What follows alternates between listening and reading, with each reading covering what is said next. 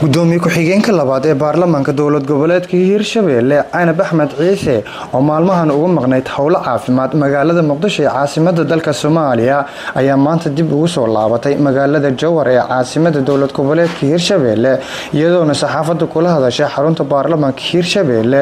ayaa waxay ka warbixisay safarkeeda iyo howlaha shaqo horyaalo baarlamaanka hiirshabeelle bismillaahi raxmaani raxiim aad iyo ila waa ilaahay mahadiis waxaan dib ugu soo noqday koob iyo toban maalmood kadib maga- ee magaalada jowhar oo ah caasimadii dowlad goboleedka hirshabeelle waxaan ku maqnaa magaalada muqdisho oo aan u aaday howlo caafimaad. In aan howlihii baarlamaanka oo noo yaalay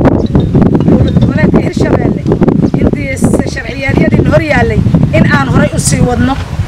Waxaana ila socda guddoomiye ku-xigeenka koowaad ee baarlamaanka hirshabeelle mudane cabdi xuseen geedi oo hadda ah kusimaha madaxweynaha iyo kusimaha guddoomiyaha baarlamaanka. Waxaan ku faraxsannahay inaa ilaahay nabadgelyo nagu soo celiyey. Waxaan rabaa shacabka reer dhinaca kale gudoomiye ku-xigeenka labaad ee baarlamaanka hiirshabeelle canab axmed ciise ayaa waxay xildhibaanada baarlamaanka hiirshabeelle iyo xukuumadda hiirshabeelle iyo shacabka uga baaqday in ay si wadajir ah ay uga shaqeeyaan horumarka hiirshabeelle. Hirshabeelle iyo xildhibaanada reer hirshabeelle iyo golaha wasiirada reer hirshabeelle in aan ka shaqayno horumarka iyo dardargelinta iyo wadajirka dowlad goboleedka hirshabeelle sidai ay horay ugu socon lahayd maadaama ay laba sano noo dhammaatay oo aan gelayno sannadkii saddexaad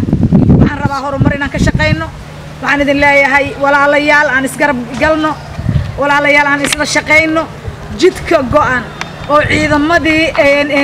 muxuu ahay aan ku soo mari jirnay. Markii uu ahaa maamul goboleedkan hirshabeelle uu firiiga ahayoo waayahan naga xirmay. Waa in aan si wada jir ah oo kala har lahayn gacmo wada jir ay wax ku gooyaane. Waa inaan ku furanno oo aan ka kaaftoonno diyaaraddan aan raacayno.